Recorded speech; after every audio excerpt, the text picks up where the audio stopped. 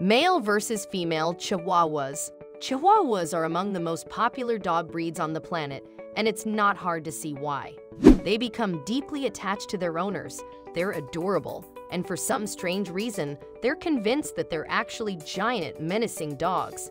If you're thinking about adopting a Chihuahua, you likely won't regret it, but you have one last decision to make. Should you get a male or a female? As it turns out, there are a few key differences between the two sexes, so this video should help ensure that you bring home the right dog for you. Male Chihuahua Overview Personality and Character Compared to females, males tend to be much clingier and more insecure. They'll hate to be away from their owners, and while they're with you, they'll want near constant reassurances that you still love them. This can be incredibly endearing, but it also gets old after a while. Males tend to mature physically faster than females, but they compensate by taking longer to mature emotionally. They stay puppy-like for quite a while, well after a female would likely have calmed down. That makes them harder to train. They'd rather play or soak up affection than learn new tricks, and males are more likely to misbehave. Boys are more likely to accept your entire family than females are and less likely to become attached to a single person. They're more likely to protect everyone in their pack, so if you want some semblance of a guard dog from your Chihuahua, a male is a way to go. However, they're not great with other dogs, so they're best for one-dog families. Training Males are harder to train than females. Any time with you is time that they'll expect to be spent petting them or playing with them, and they're not likely to want to get down to business. That's no reason to ignore their training, however. If left unchecked, they can be quite aggressive and snappy, so you'll need to train and socialize them as quickly and thoroughly as you can. Keeping them focused will be difficult though, and many people make the mistake of trying to bribe them with treats in order to keep their eyes on the prize. That's a mistake because it doesn't take much to fatten these pups up, and obesity is terrible for them. A better strategy is to use the affection that they crave to entice them to behave. Don't punish them or use other punitive measures, but instead, use attention as positive reinforcement. Every time they behave, lavish them with praise and pets, and they'll be happy to cooperate soon enough. Health and care. For the most part, males and females have equal health risks.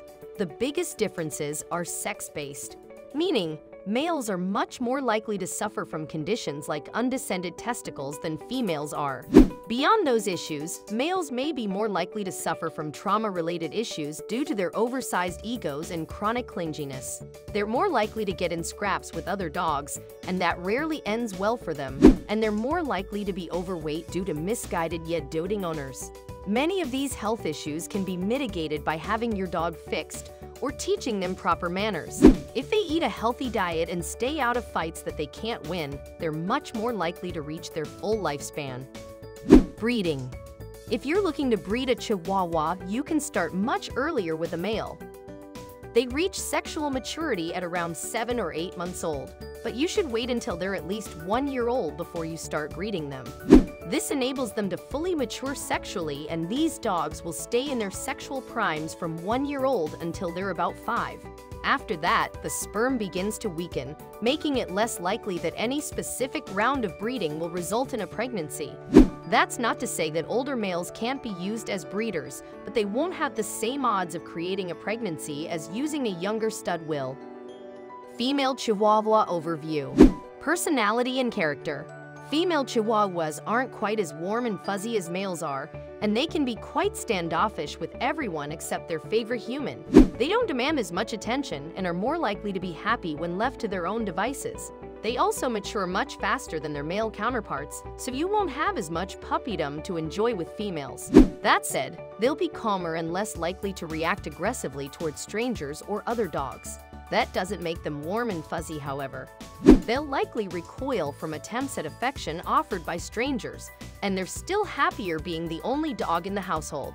Even within your own family, don't be surprised if they turn their noses up at your spouse and kids in order to spend time with you. If you want a dog that's capable of keeping to itself without needing a constant supply of attention, then a female is definitely the way to go. Training Female Chihuahuas are usually easier to train because they tend to be less distractible than their male counterparts. They also mature faster, emotionally speaking, enabling them to focus on the task at hand rather than be distracted by every little thing that crosses their path. It can be harder to make them care about training, though. They tend to be less food motivated than males are, and since they don't crave affection either, you can't bribe them with love. As a result, training sessions with females tend to be shorter yet more productive. There's less struggle to get them to follow orders, but if you stretch the session too long, you'll lose them entirely.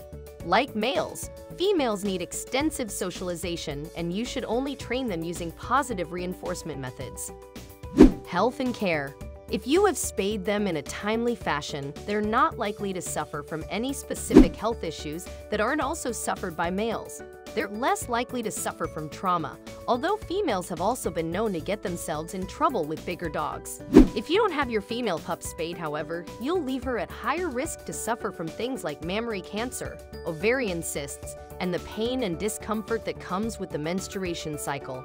Keep in mind that if you don't have your dog fixed, they're much more likely to have behavioral problems, suffer from all sorts of cancers, and run away from home. Breeding Breeding a female Chihuahua can be surprisingly challenging. Due to their small bodies and gigantic heads, C-sections are often required, so breeding can be expensive and difficult. You can start breeding females at around two years old, although many experts recommend waiting until they're three. You want them to reach full physical maturity, and remember, it takes the girls longer than it does the boys, because you want their hips and pelvic floor to be able to handle the strain of childbirth. You'll generally want the males to be smaller than the female when you breed them, as this reduces the likelihood that you'll end up with puppies that are difficult for the mother to birth. You should also retire them around six or so. If you stretch it out any longer, it can put a ton of strain on your back and hips, increasing the risk of all sorts of health issues later in life. Chihuahuas are fantastic dogs, and you can't really go wrong with one, regardless of whether you bring home a boy or a girl. Don't try to convince yourself that the dog's sex doesn't matter though, as it can play a huge role in how they behave at home. If you want a dog that demands as much attention as you can give it, get a male.